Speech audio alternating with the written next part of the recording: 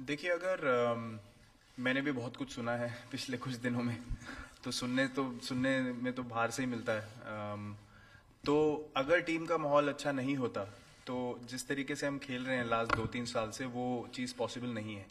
क्योंकि मैं इस चीज़ को जानता हूँ कि ड्रेसिंग रूम का जो एटमॉस्फेयर और एक जो ट्रस्ट फैक्टर और एक जो माहौल है वो कितना ज़रूरी होता है इंटरनेशनल क्रिकेट में सक्सीड करने के लिए।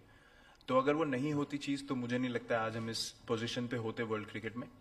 और जो हमारी जर्नी रही है नंबर सात से नंबर वन तक और ओडीआई क्रिकेट में इतनी कंसिस्टेंट परफॉर्मेंस टी ट्वेंटी में भी हम स्ट्रांग रहे हैं वो कमराडरी और रिस्पेक्ट और अंडरस्टैंडिंग के बिना नहीं हो सकती। ये खबरें पिछले तो- कुछ वक्त में आई हैं। जी। ये खबरें पिछले कुछ वक्त में मैं मैं आता हूँ इधर।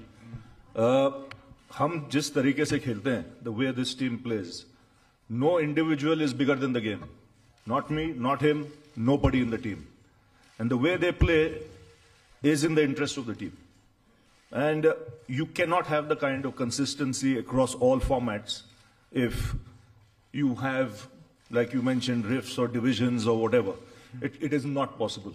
You know, so when you play on the cricket field, in that dressing room, I've been part of it for some time.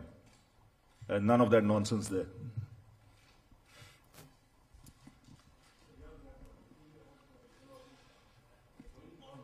Sorry, mic please.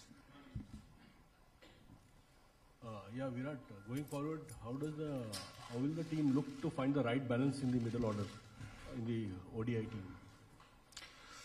यार ये मिडिल ऑर्डर का जो मुद्दा है वो अभी मुझे नहीं पता है कोई क्रिस्टल मेज रख के बताना पड़ेगा आपको कि कैसे उस चीज़ को ये बहुत सब्जेक्टिव बहुत सिचुएशन बेस्ड चीज़ें होती हैं आप कभी आप बोलते हैं आपका top order best in the world है जो आप डेफिनेटली मान सकते हैं उसमें मिडिल ऑर्डर को अपॉर्चुनिटी नहीं मिलती है। जब अपॉर्चुनिटी एक या दो आती हैं उस पर हम जजमेंट करते हैं तो मुझे ये समझ नहीं आता है कि मतलब उस चीज़ में बैलेंस कैसे बनाए एज ए टीम आप क्या कोशिश करते हैं कि आपके 11 लोग जो सबसे स्ट्रांग है वो फ़ील्ड पे जाएँ और जब सिचुएशन आए वो परफॉर्म करके दें।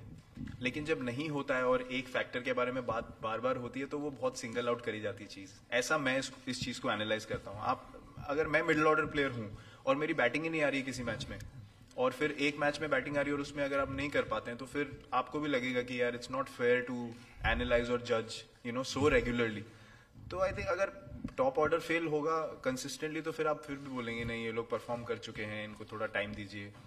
बट मिडिल ऑर्डर जिसकी बैटिंग नहीं आती है, वो I don't think that you know it's it's right to be so critical of them we obviously want to um, find people who can be consistent, who can do the job re- regularly for us, and we back the players that we thought, you know, were good enough to do the job, and they have. I mean, we reached, we lost in the semifinals because the team played better than us, and before that we've done so well um, over the last two, three years. So I don't think that there's been something very alarming about um, where the Indian team is placed.